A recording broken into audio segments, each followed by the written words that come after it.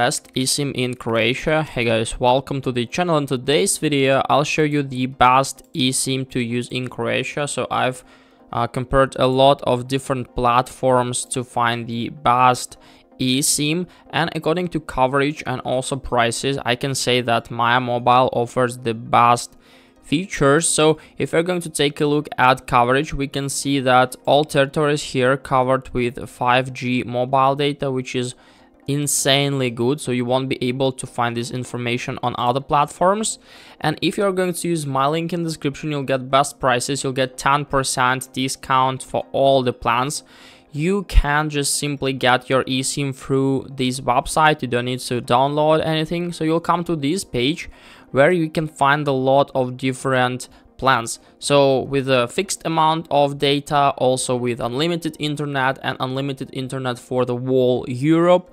Also, you can choose the number of days you'd like to stay in this country. And after that, all you need to do is to click on activate now on the necessary plan. So I'm going to use the biggest one. So I'm going to click on it and here on the next page, we have a couple of options we need to manage like activation day. And also I recommend you to enable auto recharge. So if you use all the data, you'll get an additional package.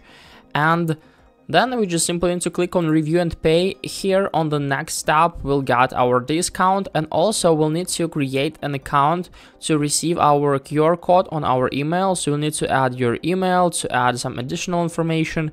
And after that, you are ready to interact with all the stuff. So as you can see, nothing really hard. You can pay with cards, uh, PayPal, or in my case the easiest way is to use Google Pay of course. So then you'll receive your QR code you can easily activate it and voila your internet is ready to be used. So don't forget about the link and I wish you a very good day. Goodbye